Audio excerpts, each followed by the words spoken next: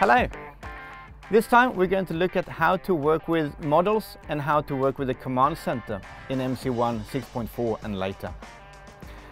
The first thing you do from the run screen is you go to the main menu and you go to your project.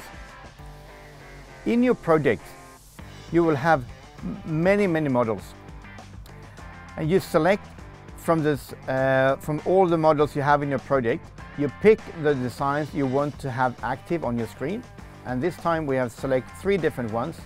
For example T-Site Odense and there's two other ones here, Grader Road and Grader Curb. When these are selected you go and accept them and all the way oh, sorry, to the run screen. From the run screen, if you go to the command center, you will see the models that I selected. On the left hand side I can select whether I want to view them or see them on the screen or if I want to hide them just by tapping on the eye. And on the right hand side I will select which one of these models I want to use as reference.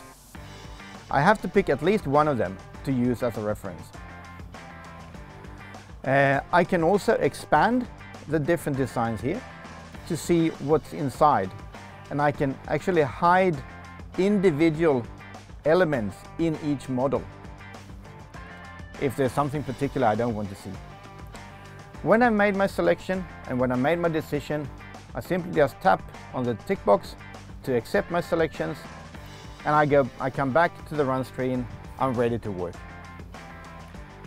That is how to select models and also how to work with the command center, selecting reference models and if I want to visualize them or hide them in MC1.